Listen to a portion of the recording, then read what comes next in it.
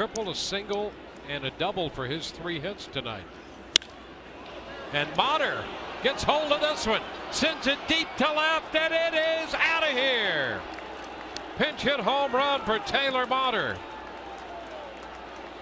He got his first big league hit last night, and in a pinch hitting role, gets his first big league home run tonight. An 0 1 pitch, and there was no doubt about that one. Well, the two hole has the site. There's your home run. So the Rays have scored 12 runs tonight, leading 12 to 2. The celebration in the dugout.